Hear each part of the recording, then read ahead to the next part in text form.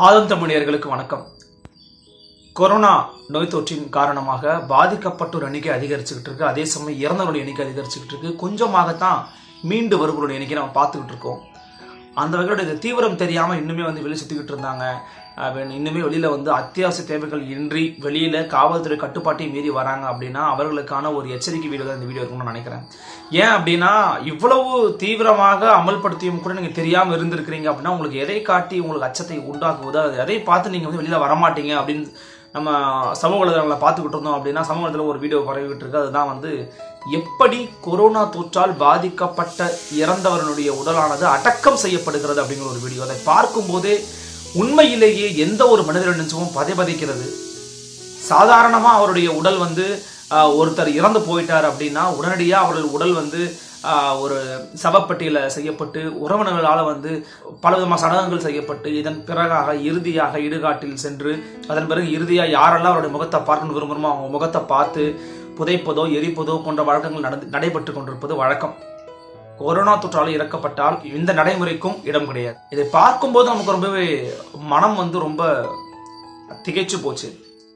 அந்த கொரோனா தொற்றால் இறந்தவர் அப்படின்னு உறுதி செய்யப்பட்டார் அப்படின்னா அவருடைய உடல் முழுக்க முதலில் கிருமி நாசினி கொண்டு தெளிக்கப்படுகிறது. இதை செய்யக்கூடிய அனைவருமே அதாவது இந்த விஷயத்தை ஹேண்டில் பண்ற எல்லாருமே முழு உடல் கவசம் அணிஞ்சிருக்கிறாங்க.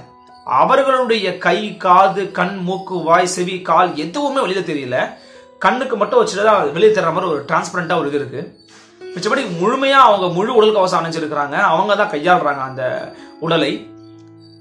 உடல் முழுக்க கிருமிநாசம் தெளிக்கப்படுகிறது. கிருமிநாசம் தெளிக்கப்பட்ட அந்த உடலின் மீது ஒரு மூன்று அடுக்கு கொண்ட துணியால் சுற்றப்படுகிறது. டைட்டா சுத்துறாங்க. ஒரு சின்ன ஒரு கேப் கூட விட மாட்டேங்கிறாங்க. அதன் பிறகாக அதன் மீது மீண்டும் ஒரு கிருமிநாசம் தெளிக்கப்படுகிறது ஒரு முறை. அதன் பிறகு அந்த உடலானது ஒரு பாக்கெட் அதாவது ஒரு பார்சல் மாதிரி. உதாரணத்துக்கு ஒரு நம் உடல் அளவுக்கு இருக்கக்கூடிய ஒரு பிளாஸ்டிக் பைக்கு உள்ளாக அந்த உடலானது அடைத்து வைக்கப்படுகிறது. இதன் பிறகு அங்கிருந்து எந்த இடத்துக்கு கொண்டு போகணுமோ அந்த இடத்துக்கு கொண்டு போறாங்க. அதுக்கு உள்ளாக ஒருவர் ரெண்டு பேர் மட்டும்தான் அந்த ஆம்புலன்ஸ் உள்ள அமர்வதற்கு அனுமதிக்கப்படுறாங்க. அவங்களும் முழு உடல் கவசத்தை அணிஞ்சிருக்கிறாங்க.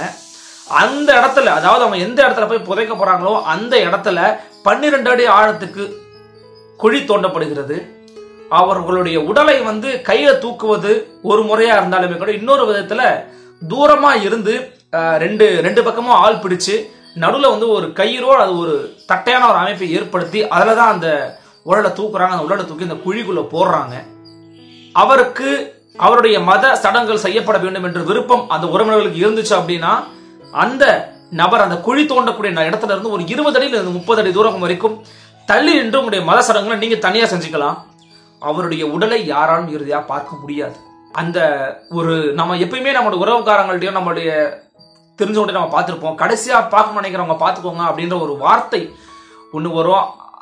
அதை வந்து நம்ம இங்கே பண்ண முடியாது. அது மிகவுமே வந்து ஒரு கொடுமையான ஒரு நரக ஒரு வேதனையை வந்து உறவினர்களுக்கு வழங்கும் அப்படிங்கிறத நம்மளால அதை பார்க்கும்போது புரிஞ்சுக்க முடியுது.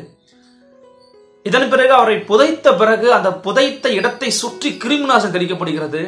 அந்த விடயங்களை செய்வதற்கு அங்கிருந்த ஊழியர்கள் பணியாளர்கள் செவிலியர்கள் அவர்கள் தங்களுடைய முழு உடல் கவசத்தையும் அந்த இடத்துல இருந்து கொஞ்சம் தள்ளி சென்று அதை அங்கேயே போட்டு முழுவதுமாக எரித்து விட்டு அங்கிருந்து முகமுடி அணிஞ்சிட்டு கிளம்புறாங்க.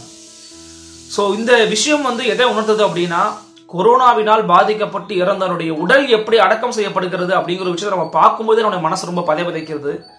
நமக்கும் அது வரக்கூடாது நம்முடைய அன்பு உறவுகளுக்கும் அது வந்துடக்கூடாது உலக மக்கள் யாருக்கும் அது வரக்கூடாது நம்முடைய வேண்டுதலாகவும் பிரார்த்தனையாகவும் நம்முடைய எண்ணமாகவும் இருக்கு. அதனால உங்களுக்கும் வரக்கூடாது மக்களுக்கும் பரவக்கூடாது அப்படின்னா தயவு செய்து வீட்டிலேயே இருங்க. நீங்க வீட்டிலேயே இருந்தீங்க அப்படின்னா இது போன்ற ஒரு கோரமான நிகழ்வுகள் நமக்கும் நடக்காம பார்த்துக்க முடியும் நம்முடைய உறவுகளுக்கும் நடக்காம பார்த்துக்க முடியும். அந்த வீடியோ நீங்க பார்த்துருப்பீங்கன்னு நினைக்கிறேன். அந்த வீடியோ மிகவும் கொடுமையானது.